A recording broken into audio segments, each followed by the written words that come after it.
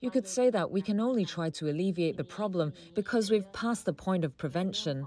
In terms of policy, we need to take action all the way to the legal level.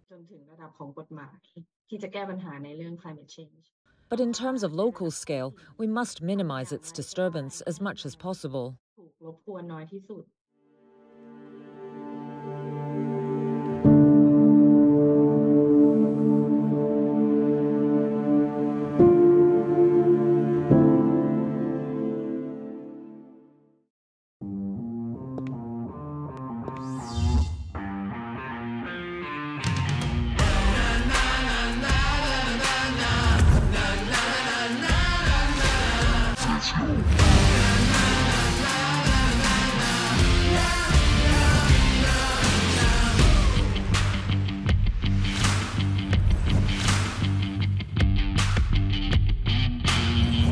Make informed decisions with comprehensive analysis on the go.